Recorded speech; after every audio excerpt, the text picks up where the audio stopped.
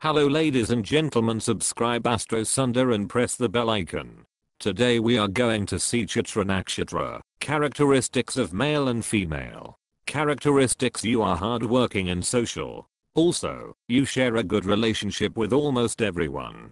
Whomsoever you meet, you express a lot of love. Eloquence is your exclusive quality and you always try to maintain a balance in your relations. When it comes on relations, you are emotional.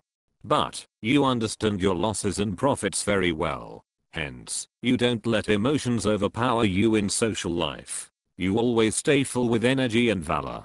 Be it anything, you just finish everything with your energy. You have not learned to get scared of any adverse situation. Rather you face all the problems with your valor, win over them, and proceed.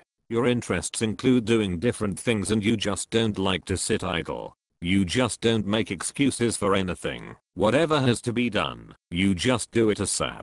In any case, you just try to be busy. As soon as you finish doing something, you pick up a new work. Most probably, you are not aware of the word rest. You are stubborn at times. Business is more preferred by you than job, because your brain works better in the business related matters. Due to this business mind, you will get a lot of success. You have an expertise in the art of speaking. But, anger must be avoided, and you must act patiently. You don't get upset easily, because being hopeful is your another quality. Wealth accumulation interests you, and you cherish a materialistic life. You have a good interest in science and arts. Weaknesses can be easily covered by you, and you know how to maintain your glory. Your intuition is quite good, which makes your assessments usually correct. Due to your stubborn behavior, you have to face oppositions at times. But, these hurdles eventually help you in growing. You have true compassion for deprived communities as well, and you always stay ready for their betterment. Till your age of 32, some struggle is expected, but after that, everything will be wonderful.